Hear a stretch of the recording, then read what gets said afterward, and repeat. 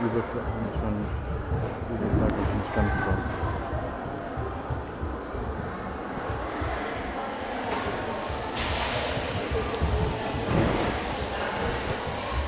Stehen!